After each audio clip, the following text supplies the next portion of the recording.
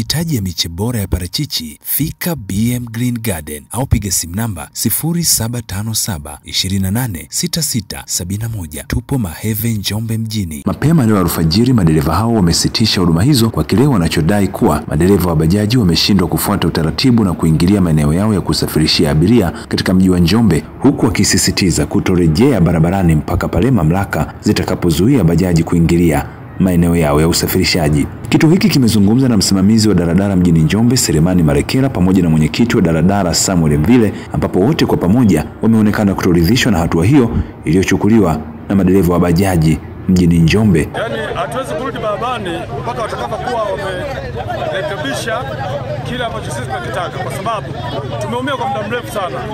Gari hizi hapa zinalaza shilingi elfu tano shilingi elfu kumi Shughuli gani hiyo? Kuna kazi hapa? Hamna kazi. Kwa hiyo ndio maana sisi tumemwambia hivi dasi kwamba tumewaheshimu uongozi wote uliokuwa umekuja hapa, tumeuheshimu, tumeusikiliza.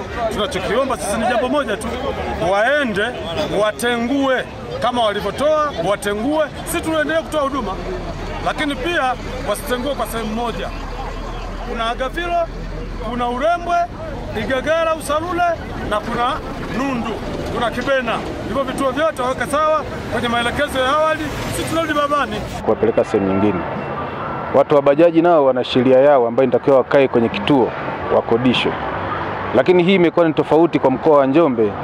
Bajaji wanafanya shughuli kama zinavyofanya daladala, kwa hiyo tunagombaniana abiria kwenye vituo kama, zi, kama inavyofanya daladala na bajaji pia inafanya hivyo, na huu mgogoro sio umeanza leo wala jana, toka mwaka 2014 Baadhi ya maofisa wa usafirishaji mjini Njombe wakawa na haya ya kusema. Bajaji wanachukua wanafunzi, wanachukua wanachukua wananchi ambao ni abiria, lakini bado kuna haki za msingi, hususan kwenye upande wa wanafunzi. Watoto wadogo tunaona sana kwenye vituo vya daladala, hususan kama pale TANESCO ukipandisha kama unaelekea Changingi, kuna kituo cha daladala pale, lakini sasa wakipita bajaji wamewapa na jina kabisa hao watoto wadogo wa shule. Wanaitwa washeri.